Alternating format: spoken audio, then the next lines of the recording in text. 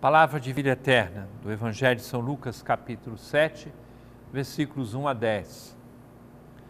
Naquele tempo, quando acabou de falar ao povo que o escutava, Jesus entrou em Cafarnaum.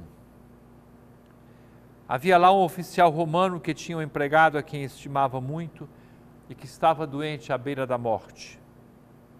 O oficial ouviu falar de Jesus e enviou alguns anciãos dos judeus para pedirem que Jesus viesse salvar seu empregado.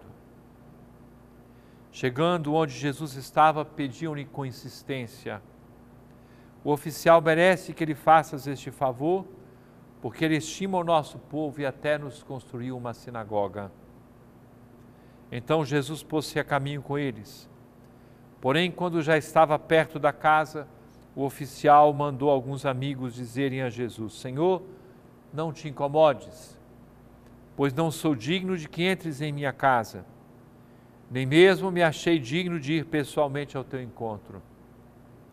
Mas ordena com a tua palavra, e o meu empregado ficará curado. Eu também estou debaixo de autoridade, mas tenho soldados que obedecem às minhas ordens.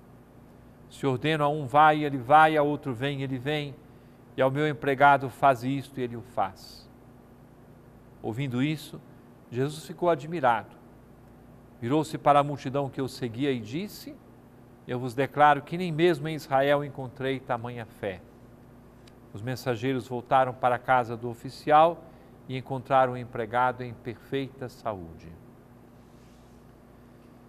Caríssimo irmão, caríssima irmã, que bela forma de começar esta nova semana que a providência de Deus nos concede para viver o Evangelho Senhor, eu não sou digno de quem entreis em minha morada, mas dizei uma palavra e serei salvo.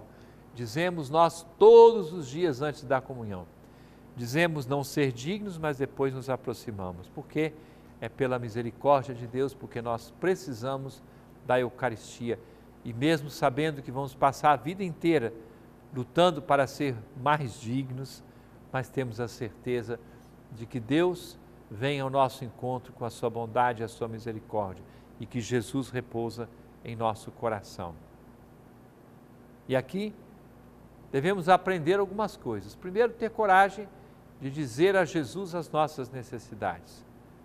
Depois, ajudar-nos uns aos outros. Alguém pode rezar em meu nome ou eu em nome da pessoa, nós podemos fazer isso. E ter a certeza de que o Senhor vem ao encontro da nossa fragilidade, da nossa pequenez. Vivamos esta semana com essa certeza, com a garantia da presença amorosa de Deus em nossa vida. É palavra de vida eterna